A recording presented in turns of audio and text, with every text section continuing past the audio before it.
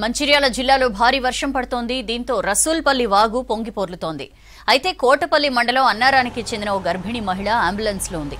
వాగు ఉధృతంగా ప్రవహిస్తుండటంతో వాగులోంచే సురక్షితంగా అంబులెన్స్ దాటించారు స్థానికులు. గర్భిణీ మహిళను సేఫ్గా జిల్లా ఏరియా హాస్పిటల్కి తరలించారు.